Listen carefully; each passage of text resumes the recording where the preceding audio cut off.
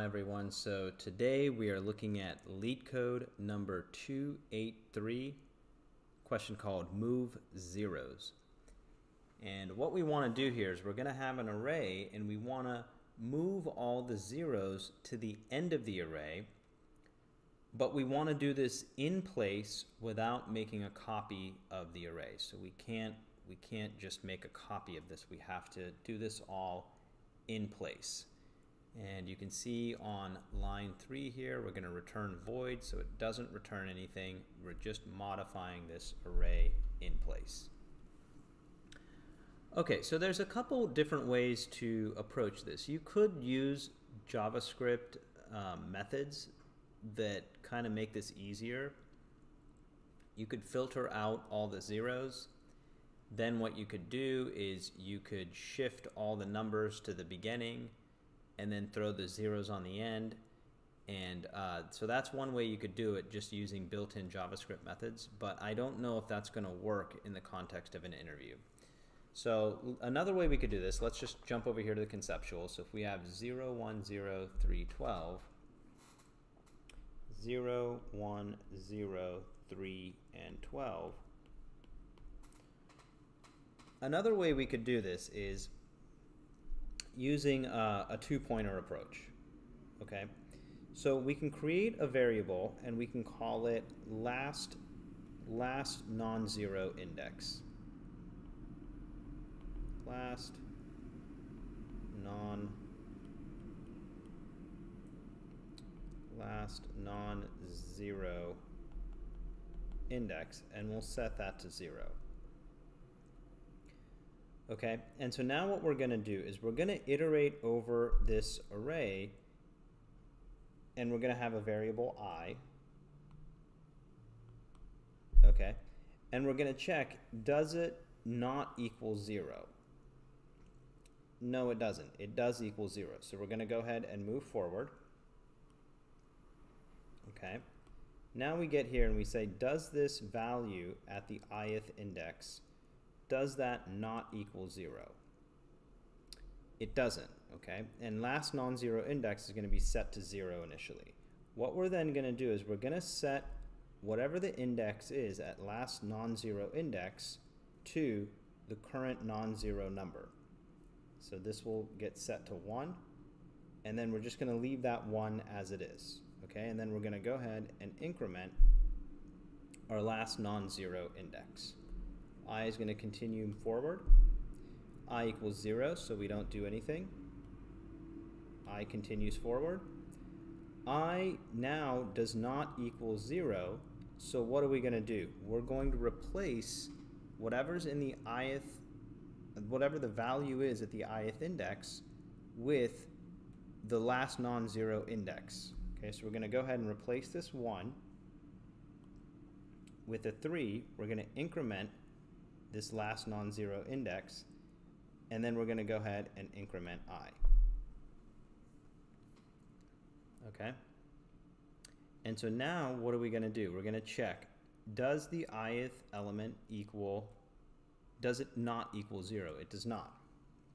Okay, and our last non-zero index is at 0, 1, 2. This is where it's at.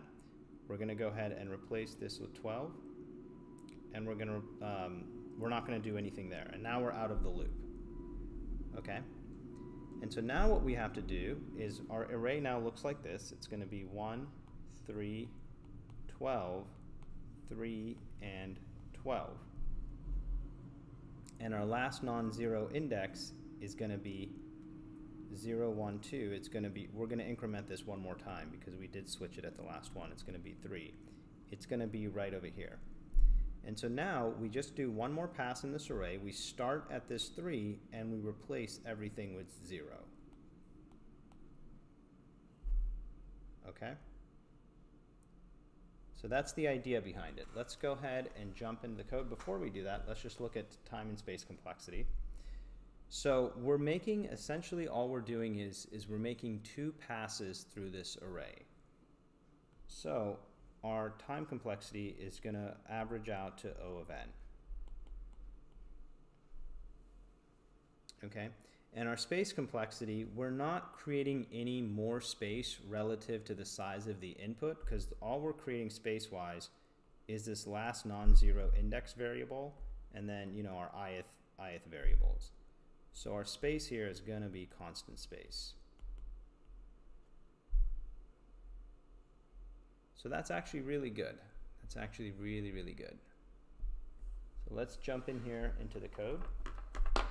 So what we're going to do here is we're going to go ahead and uh, create our variable let last non-zero index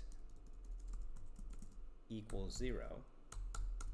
And now we're just going to iterate over the nums. So we're going to say for let i equals 0, i is less than nums dot length, i plus plus.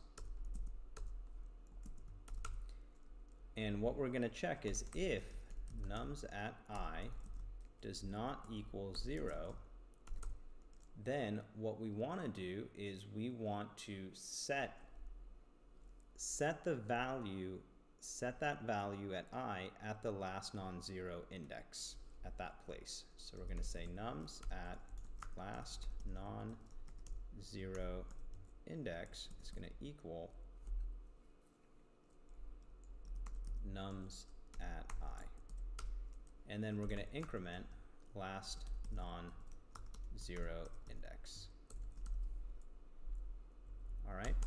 So now what we have is we have this array right here, but we need to fill in the rest of these with zeros.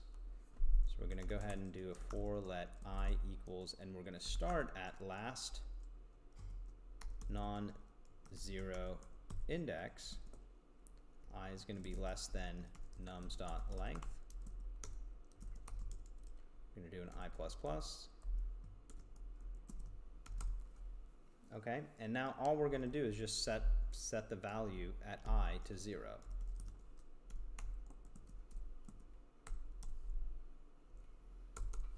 And then we just go ahead and we don't even have to return anything. We just return void because it's going to be done in place. Okay, let's go ahead and run that. and we're good. Okay, so that is LeetCode number 283, move zeros. It's a fun little problem and hope you enjoyed it and I will see you all on the next one.